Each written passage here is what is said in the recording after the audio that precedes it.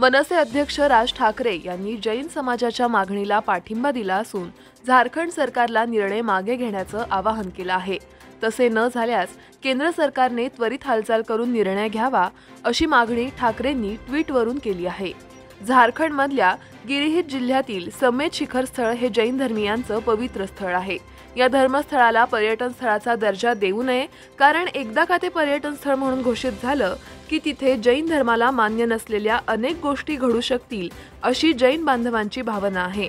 त्यामुळे झारखंड सरकारने जैन धर्मियांच्या तीव्र भावनांचा विचार करून हा निर्णय तात्काळ मागे घ्यावा असं आवाहन त्यांनी केलंय. विरोधकांना परिणाम भोगावे लागतील जनता निवडणुकीत त्यांना जागा दाखवेल असा टोला भाजपाचे महाराष्ट्र प्रदेशाध्यक्ष चंद्रशेखर बावनकुळे यांनी लगावला. आज वसई विरार दौऱ्यावर असताना ते बोलत होते विरोधकांनी काहीही म्हणल्यावर आम्ही त्याचा बाऊ करत नाही मात्र अजित पवार हे छत्रपती संभाजी महाराज धर्मवीर नव्हेत हे ठामपणे बोलतायत.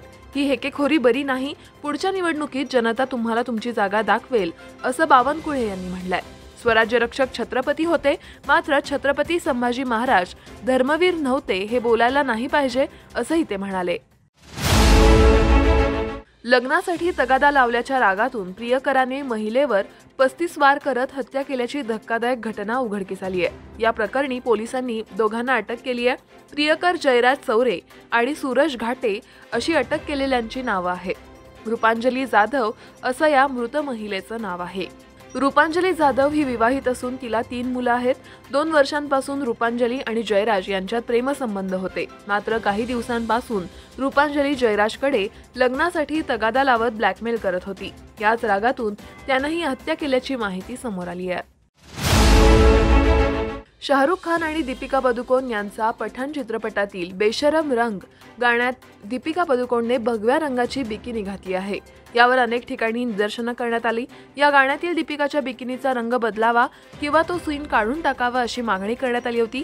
या मागणीनंतर सेन्सर बोर्डाने चित्रपटातील दहा सीनला कात्री लावली आहे. वादग्रस्त ठरलेल्या ऑरेंज बिकिनीमधील सीन सेन्सर बोर्डाने काढून टाकण्यात आलाय. त्याचबरोबर रॉ शब्दाच्या जागी हॅमरे लंगडे लुल्लेच्या जागी तुटे फुटे तेरा ठिकाणी पीएम किंवा राष्ट्रपतीऐवजी पीएमओ या शब्दात बदलले आहेत. अशोक चक्राच्या जागी वीर पुरस्कार एक्स के जी बीला एक्स एस बी यू आणि श्रीमती भारत माताच्या जागी आमची भारत माता हे शब्द वापरण्यात आले आहेत. छत्रपती शिवाजी महाराजांच्या राज्यात नंगानाथ चालू देणार नाही असा इशारा भाजप नेत्या चित्रा वाघ यांनी उर्फी जावेदला दिलाय. मुंबईत पत्रकार परिषद घेत चित्रा वाघ यांनी आपली भूमिका मांडली आहे. उर्फीला विरोध नाही पण तिचा तो नंगानाथ सुरू आहे. त्याला माझा विरोध असल्याचं चित्रा वाघ यांनी सांगितलं. एक बाई भर दिवसा रस्त्यावर उघडी फिरते नगण्य कपडे घालून अंग प्रदर्शन करते हे किती योग्य? असा प्रश्नही चित्रा वाघ यांनी उपस्थित केला. पुण्यातील प्रसिद्ध लोहगड किल्ल्यावर होणाऱ्या उर्साला जिल्हा प्रशासनानं परवानगी नाकारण्यात आली आहे. या पार्श्वभूमीवर खबरदारी म्हणून प्रशासनानं एकशे चव्वेचाळीस लागू करण्यात आलाय. अनेक हिंदुत्ववादी संघटनांनी याबाबत निवेदन दिल्यानंतर आता लोहगडावर उरूस साजरा करण्यास जिल्हा प्रशासनानं परवानगी नाकारली आहे. गडावरील दर्ग्याच्या उरसाला नाकारलेली परवानगी आणि हा दर्गा अनधिकृत असल्यानं इथे उरूस भरू देणार नाही असा इशारा बजरंग दलासह इतर संघटनांनी दिलाय. या पार्श्वभूमीवर खबरदारी म्हणून प्रशासनानं एकशे चव्वेचाळीस लागू करण्याचा निर्णय घेतलाय.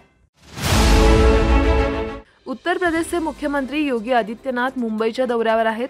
या दरम्यान त्यांनी आम्ही आमची स्वतःची फिल्म सिटी उभारत आहोत असं वक्तव्य केलं होतं. यावर शिवसेना नेते संजय राऊत यांनी योगी आदित्यनाथांवर हल्लाबोल केलाय. योगी आदित्यनाथ मुंबईत गुंतवणुकीसाठी रोड शो करणार असतील तर आश्चर्यकारक आहे. गुंतवणुकीसाठी मुंबईत रोड शो करण्याची गरज काय? आपण इथे राजकारण करायला आला आहात की आपल्या राज्याच्या विकासासाठी मुंबईची मदत घ्यायला आला आहात? हे राजकारणाचे धंदे बंद करा. आपण सन्मानाने आला आहात सन्मानाने निघून जा असा सल्ला राऊत यांनी योगी आदित्यनाथ यांना दिलाय. दूरदर्शन आणि ऑल इंडिया रेडिओची स्थिती सुधारण्यासाठी दोन हजार पाचशे एकोणचाळीस कोटी रुपये खर्च करण्याचा निर्णय आज मोदी सरकारच्या मंत्रिमंडळात घेण्यात आला.